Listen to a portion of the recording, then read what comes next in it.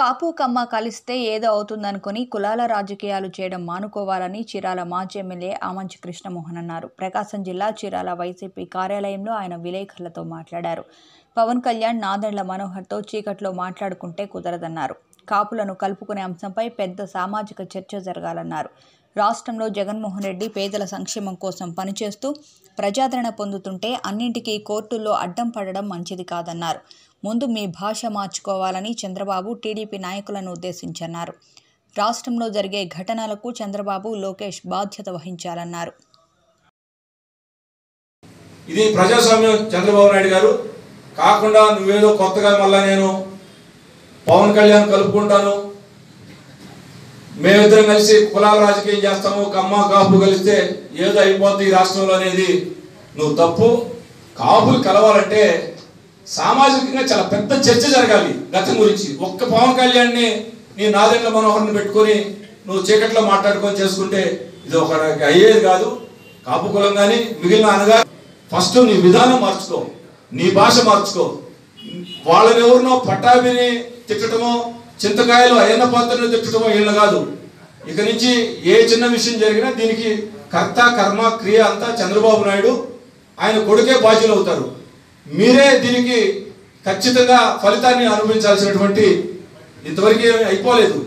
నువ్వు దారుణంగా నూట యాభై ఒక్క సీట్లు కోల్పోయి డిపాజిట్లు కూడా చాలా చోట్ల లేకుండా ఓడిపోయిన తర్వాత నువ్వు సమీక్షించుకోకుండా ఈ రోజు కూడా ప్రజలు తప్పు పెడతావు. ఎందుకు నాకు ఓటు వేయలేదో జనం అర్థం కావట్లేదు అంటావు. ఎక్కడన్నా ఉంటుంది ప్రజాస్వామ్యంలో? ఎందుకు ఓటు నువ్వు హైదరాబాద్ నుంచి పారిపోయి వచ్చావు. కొన్ని వేల కోట్లు ప్రజాధనాన్ని లూటీ చేశావు. నీ సామాజిక వర్గాన్ని మాత్రమే నువ్వు పెంచి పోషించావు. దీన్ని ఒక రాజకీయ పార్టీలుగా కాకుండా తెలుగుదేశం పార్టీని నిజంగా నువ్వు ఒక రాజకీయ పార్టీగా అన్ని కులాలకి మతాలకి అన్ని వర్గాలకి నువ్వు స్థానం కల్పించినట్టే ఈ రోజు నీ ఎమ్మట భుజానికి భుజం ఆడనిచ్చి నిలబడేవాడు కదా మిగిలిన సామాజిక వర్గాలు? నువ్వు అధికారంలో ఉన్నప్పుడు సరైన అవకాశాలు ఇస్తే ఈ రోజు లేరు కదా? ఆఖరికి నువ్వు అవకాశం ఇచ్చిన నీ కులం వాళ్ళు కూడా నీ ఎమ్మట లేకుండా పోయారు. అంటే ఎవరి విధాన లోపం? నీలో లోపం ఉంది. కాకుండా అద్భుతమైన తీర్పు ప్రజలిస్తే జగన్మోహన్ రెడ్డి గారికి పట్టం కడితే ఓర్చుకోలేకుండా నువ్వు ఒక ప్రతిపక్షంగా ఉండవు. అంటే ఒక పాలకపక్షంగా జగన్ గారు సీఎంగా ఉంటే ఒక ప్రతిపక్షంగా క్యాబినెట్ ర్యాంకు పొజిషన్లో నువ్వు ఉంటే ముప్పై లక్షల మందికి పట్టాలిచ్చే కార్యక్రమాన్ని కోర్టులో కొట్టేస్తే దాని మీద నీ అభిప్రాయం చెప్పలేదు. అంటే నీకు కోర్టు ఇచ్చినటువంటి తీర్పు ఏదైనా లోపాలంటే ప్రభుత్వం సరి చేసుకోవాల్సినటువంటి బాధ్యత ఉన్నప్పటికీ నీ అభిప్రాయం చెప్పలేదంటే నువ్వు పండుగ చేసుకుంటున్నావు.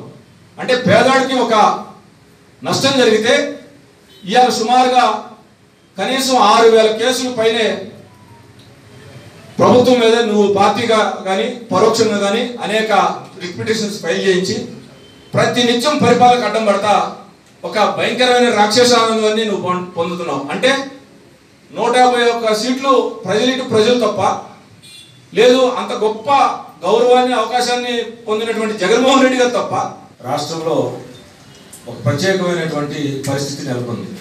దీన్ని రాష్ట్ర ప్రజలందరూ కూడా గమనించాలి. ఇది ఎక్కడి నుంచి మనం పరిశీలిస్తే మాకు అర్థమైందంటే రెండు వేల పద్నాలుగులో చంద్రబాబు నాయుడు చాలా ఎక్స్పీరియన్స్డ్ పర్సను పరిపాలన పరంగా అనుభవపరుడు ఇతనికి అవకాశం ఇస్తే చక్కగా పరిపాలిస్తాడు. మనకి హైదరాబాదు రాజధానిగా ఉంది. తెలంగాణ కొత్తగా రాష్ట్రం ఏర్పడింది. అనేక సమస్యలు వస్తాయి. జలాలకు సంబంధించి అటు కృష్ణా గోదావరి జలాలకు సంబంధించి అనేక వివాదాలు ఉన్నాయి.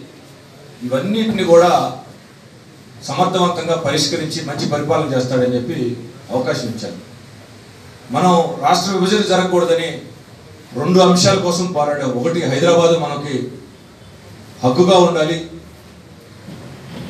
నదీ జలాల పరంగా చాలా పెద్ద ఎత్తున విభజన జరిగితే నష్టం జరుగుతుంది. ఈ రెండింటి కోసమే మనం ఫైట్ చేశాం. ఉమ్మడి ఆంధ్రాగా ఉండాలని చెప్పి. అలాంటి పరిస్థితుల్లో కరెక్ట్గా తనకు అధికారం వచ్చిన మూడు నెలల నుంచి నాలుగు నెలలలోపు హైదరాబాద్ని చిన్న కేసుకి కేసీఆర్కి భయపడి పారిపోయి రావటమే కాకుండా ఆ భయాన్ని కూడా సొమ్ము చేసుకున్నటువంటి వ్యక్తి చంద్రబాబు నాయుడు. అది ఎలానంటే ఆయన కులము ఆయన సామాజిక వర్గానికి బాగా అవకాశాలు ఉన్నటువంటి ప్రాంతాన్ని గుంటూరు విజయవాడ ప్రాంతంలో రాజధానిని ఎన్నుకొని అక్కడ భూములు తనకు సంబంధించినటువంటి వర్గీయుల చేత ముందుగానే కొనిచ్చి అంటే చచ్చిపోయి శవాన్ని తగలబెట్టి ఒక రకంగా రాష్ట్రం ఇబ్బందుల్లో ఉంటే ఆ శవం తాలూకా యువకులు కూడా అమ్ముకొని మనం లాభం పొందాలని చూసినటువంటి నీచమైనటువంటి స్వభావం కలిగినటువంటి వ్యక్తి చంద్రబాబు నాయుడు. అసలు రాజధాని ఎందుకు వదిలిపెట్టి రావాలి? కారణం చెప్పాలిగా పది సంవత్సరాలు మనకి హక్కు ఉంటే నీ మీద కేసీఆర్ ఒక కేసు పెట్టాడని దాన్ని ఫైట్ చేయకుండా అసలు చేసిందే తప్పు ఆ రోజు. ఎమ్మెల్సీ ఎలక్షన్స్కి ఎమ్మెల్యేలు కొనడము. దొరికాడు రేవంత్ రెడ్డి. నువ్వు కూడా అందులో కాన్వర్జేషన్ స్టీఫెన్సన్ వీళ్ళందరితోటి నామినేటెడ్ ఎమ్మెల్యేలతో నువ్వు కన్వర్జేషన్ నడిపావు. ఫేస్ చేయాలి రాజకీయాల్లో ఉన్నప్పుడు. కాకుండా కొన్ని లక్షల కోట్ల రూపాయల నష్టాన్ని తీసుకొచ్చేటటువంటి చర్య రాజధాని హైదరాబాద్లో ఎదిరేసి అడవిలో తీసుకొచ్చి పెట్టావు. ఇప్పుడు కూడా నీ సామాజిక వర్గం తాలూకా మీడియా కానీ నిజంగా పద్నాలుగు నుంచి పంతొమ్మిది వరకు నిన్ను సమర్థించి మోసినటువంటి నీ సామాజిక వర్గం తాలూకా వ్యక్తులు ఇలా అడ్రస్ లేదు. అంటే ఈ రెండింటి నుంచి నీ మేనిఫెస్టోని మాయం చేసావు కరెక్ట్గా రెండు నెలల కల్లా. అంటే నువ్వు ఏం చెప్పావో అది జగన్మోహన్ రెడ్డి ఏం చేస్తున్నాడు? ప్రతి మంత్రి టేబుల్ మీద ఆ మేనిఫెస్టో పెట్టాడు. పబ్లిక్ డొమైన్లో ప్రజలకు యాక్సెసిబుల్గా ఉండేటట్టు పెట్టాడు.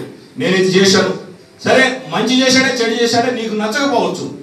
ఈ ఐదు సంవత్సరాల్లో చేసే హక్కు చట్ట ప్రకారం జగన్మోహన్ రెడ్డికి ఉంది. నువ్వు ప్రజలకి ఇది తప్పు చేస్తున్నాడని నువ్వు చెప్పుకో.